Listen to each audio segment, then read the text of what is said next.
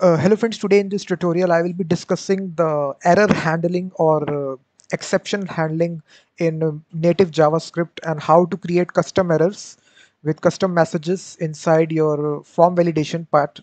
So basically we will be, uh, let me show you the demo of the application. So basically this will be a custom error handling. So we will be having an input field out there and basically if you don't write anything and if you click the submit button there will be an error that please enter the value. This is a custom error that we created using the uh, throw statement which is available inside uh, custom error handling. So there are four statements out there in custom error handling. Fine, uh, first is try, second is catch, uh, third is finally, and fourth is throw. So these are the four statements that we will be using, four keywords, try, catch, finally, and throw, which is there inside JavaScript to handle the custom error handling, exception handling. So we will be using these four statements and basically if you provide a different name, and click submit you will not see name is not equal to Kane Williamson so this is the second error that we created the custom error that we created using the uh, throw statement we are throwing these errors and the uh, errors which we are throwing and they are catched by a catch statement and then it is displaying this error. So basically this is a code here which is uh, written here. I will explain you this code uh, step by step. I, I will write it now. So let's start this tutorial. So basically here you need to open index.html file. Just change the title to custom error handling inside uh, javascript. So if you're watching it for the very first time guys please hit the like button subscribe the channel as well. So here for error handling purposes guys we will have a simple form. So inside this form we will be giving a id to the form here so that we can target it inside javascript. So we will be giving a id of form. And basically inside this form we will have uh, a input field of type text. And uh, we will be giving a id to it of username. And this is uh, we have we are not uh, writing required statement here. This is we will be doing this validation at the JavaScript side. And then basically we will have a simple button to submit the form. That's it. We will be giving that's it. So now we will write the custom JavaScript part guys. So now to handle the error handling guys we will be using the four statements four four keywords try catch finally and throw. So these are the four keywords which comprises the error handling inside native JavaScript. You can handle these uh, errors using these four statements. So first of all, we need to wrap all the code inside try catch block. So as you know, if you have used uh, try catch block before, you have know that uh, you need if you need to write important code, which is very much important, you need to wrap that code inside try catch. So this is not limited to JavaScript. This is also available in different languages such as Python, Java, uh, C sharp all these implement the same concept which is try catch block. So here you will write first of all you will get the reference to the form document dot get element by id which is we have given this id to the form here which is form here you can see that. And then basically we will add an event listener. So when the form submits so basically we will now first of all prevent the auto submission of the form and uh, now guys let me console log the error if any sort of error take place console log e. So let me show you a very basic example. Let's suppose we reference the id that we not given. So let's suppose id is form so we are referencing a wrong id so in that case what will happen now? It will catch this error and it will console log it. So if i now open with uh, if you now see here if you click uh, let's suppose go to the console, you will now see. Type error. Cannot read properties of null reading add event listener. Basically this is ki kind of a error which is showing you in the console. Basically it is saying that there is no such element which is having this id called as this id that you have provided. So it's a wrong statement. So it is catching this error. It is console logging this. And uh, this is the overall message which which is printed out which is a type error. So now let let's suppose you only need the uh, let's suppose message. So basically what you will see only the message of the error will be taking place. Cannot read properties of null. Reading add event listener. So you can even just uh, print out the part of the message part of the error message. E dot type. So e dot type will be undefined because there is no such type. So there is also e dot stack which is also available to you which will actually tell you the line number as well. So on which line number the error take place? So the line number is uh, 10 on 10th line the error has taken place. You will see that. If you see clearly let me just do it. You can see that. On line 61 if you just click on that in the console just click on that hyperlink you will be redirected to the line on which the error has taken place. So you will see that. So this is the error that you can recognize. So it's a very easy way by which you can do it. And uh, in this way guys you can do it. And also let's suppose you have written a uh, uh, runtime. Basically this error handling will recognize only the errors which takes place at the runtime.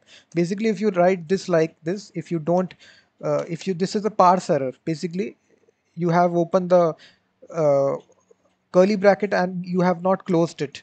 So this is a this is a parse error. So this will not be recognized. If you go to the console here basically your application will not run. You can see it's a syntax error. You can see that this will not be recognized by catch. So this is a parse error. Only the runtime errors are being uh, cached by this try catch block. This is the most important thing to note. And after this guys what we can do is that we can get the name which the user has submitted by the id that we given here which is name here. And also we can first of all get the reference to the form as well. Form. So we have given this id to be username sorry username so basically here we can simply first of all check if name is empty. In that case there is also a another keyword guys in error handling which is called as throw. By the name itself it will be throwing errors. So there is a throw keyword here. So here we can define our own error which is inside curly brackets you will write name of the error. So we will say empty error. And uh, comma the message which you need to throw to the error catch statement. So here you will see please enter the username. So basically what will happen now if you check here so basically it will get the username and uh, it will now check. If the username is empty then it will throw this error by using this throw keyword. And now ultimately the code after this will not be executed so this line which is username is correct will not be executed because this the control of the program will be shifted to the catch statement and the program will exit because it will throw this error to the uh, in the console so now if I show you, if I don't write anything, so you can see that username is correct. Let me see why it is showing this. So in the console, nothing is there. Uh, let me see. Uh, name message. Uh, let me see guys. Uh, throw custom errors in JavaScript. So anytime if you face any sort of problem guys, you can refer to the Stack Overflow website. I think I uh, this one. Own object just have the name property. Uh, oh sorry. This parentheses is not required guys so that's the problem. You only need uh, this curly brackets that's it name and message. So now if you do this if you click submit if you check the console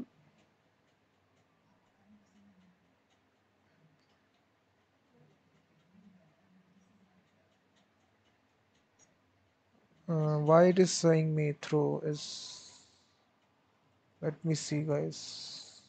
Let me revert to the previous code that is written that was correct. So you can see that. Let me see.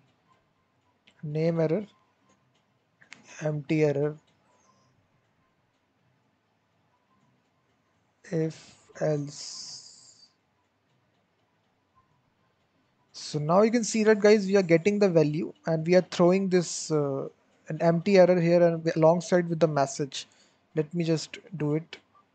Let me show you the finally block at last. So here you can see we are throwing this error. Name is equal to empty error. Message is this one. If I just open this here you can see please enter the value. And this statement which finally code is correct is not executed. And you can even uh, console log this message console log e. So basically what will happen now if you check the console you will now see that this custom error will be thrown which is name is equal to empty error. Please enter the value. Name is equal to empty error you can change this name to any name of your choice according to your application.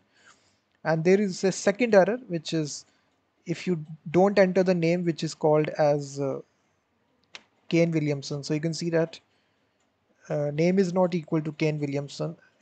Uh, so this is called as a name is not equal to Kane Williamson name error. So in this case guys you can have as many custom errors as you want inside your application at any moment of time you can you just need to use the throw statement here just to throw this error. Alongside with this uh, object which will contain these two properties name and message. And finally if you want to execute a code no matter what happens no matter which error take place you need to execute it. So you will use this finally block. So inside this finally block guys finally this code will be executed no matter what happens. So basically this will be required for releasing of resources or any sort of uh, native work that you want to do no matter what happens. So you will now see if I if I don't write this value but this code will be executed. Finally this code will be executed no matter what happens. So there was an error but still it executed. You will see that. If I now write a correct value Kane Williamson which is correct value. So finally code is correct. So now you can see that statement is executed. Finally code is correct. All these if conditions and else was wrong. So this is the uh, the four statements guide I shown you, showed you which is try catch finally and throw.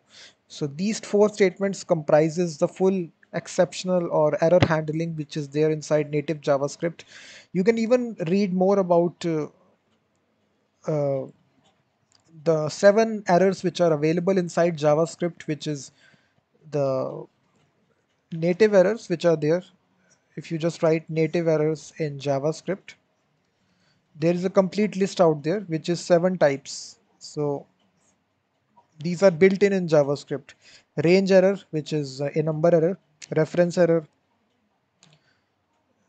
uh, syntax error, type error, URI error, which is for URLs, evolution error, internal error. So these are seven basic types, but you can even create your own custom errors as well by using this throw statement I've shown you in this tutorial live stream. Please hit the like button, subscribe the channel as well, and uh, also comment on this video and I will be seeing you in the next live stream.